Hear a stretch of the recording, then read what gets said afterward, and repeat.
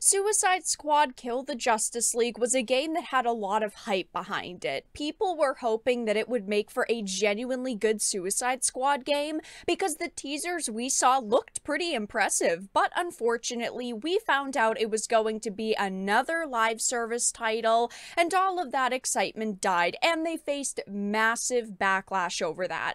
But now, less than a month before release, they have decided to delay the game by almost a full year, leading to a lot of questions. I have a few different things I want to show off, but before we get into the topic, if you enjoy the content that I create, please make sure to subscribe to the channel and hit the notification bell. Follow me on social media like Twitter or Minds so that you can see when my content is posted. And of course, if you do really enjoy the videos and the live streams that I create, please consider becoming a Dark Titan via Patreon or a supporter via YouTube So I wanted to start off with this article Suicide Squad Kill the Justice League's delay is unprecedented. Where do Rocksteady even go from here? And honestly, I wasn't expecting a delay. A couple of months ago, we saw the full trailer and we also saw gameplay at a showcase, but now they have decided to delay it by a significant amount of time. I understand that a lot of games now usually go through at least one delay. Two doesn't surprise me that much either, but we are heading on multiple delays for this title. It says Rocksteady has delayed the game to February 2024, pushing its live service superhero game back almost an entire year after a very polarizing gameplay reveal. We all expected the studio to take a few months away from the spotlight to re-examine the experience, but this sort of shift is significant. The game is presumably nearing the finish line in terms of development, with the original release date close enough that I imagine the dev was busy polishing things up ahead of launch, and that is definitely not the case anymore. Yeah, they were supposed to actually release it next month, and now they're delaying it by nearly a year, which is pretty shocking. You'd think that they would come out and say, hey, it's really not done. We need a lot more time with it. Or maybe they are reconsidering some of the features that they were putting into game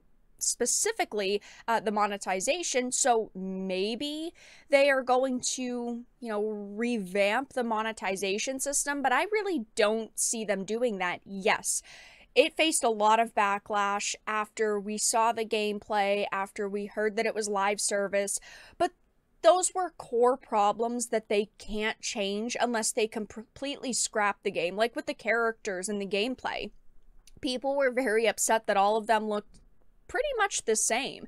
None of them were boots on the ground. Yes, they all had slightly different primary weapons, but they all played very similarly from what we understood. You can't change that in a year delay unless you're completely scrapping the game. Also, with monetization, they've put a lot of time and a lot of thought into it already. How can we sucker people into opening up their wallets and shoveling us cash? I just don't see them completely changing that. If they did, I would be pleasantly surprised but again, that would be a lot of work for them.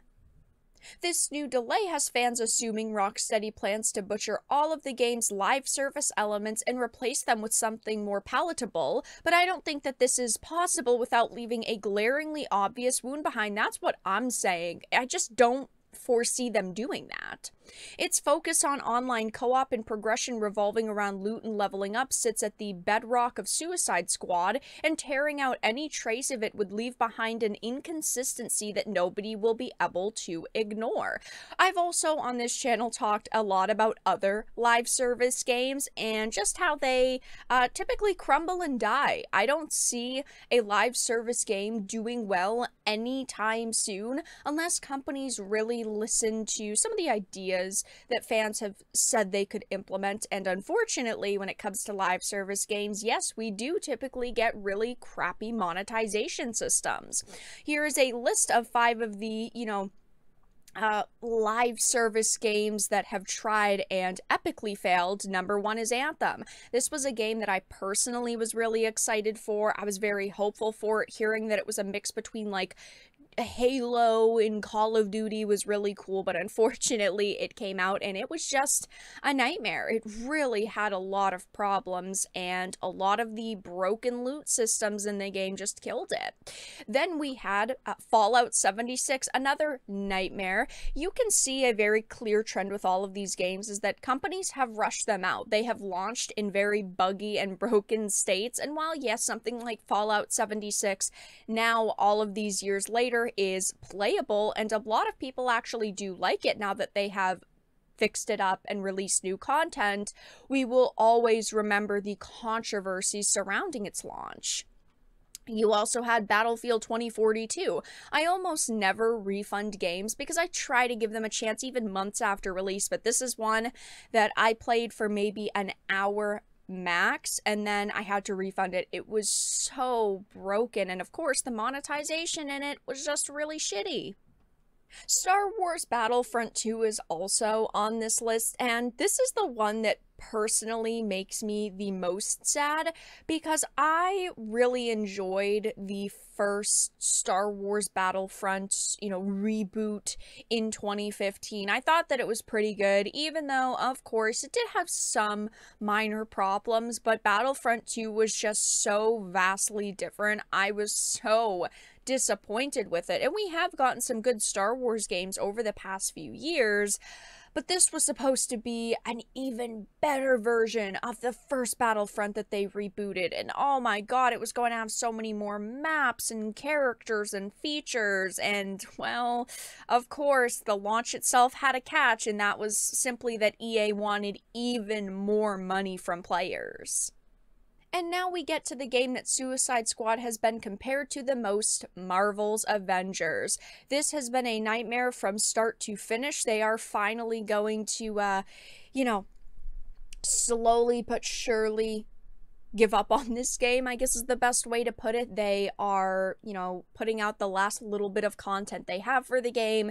They've given players tons of free cash shop items because they're going to be shutting the cash shop down.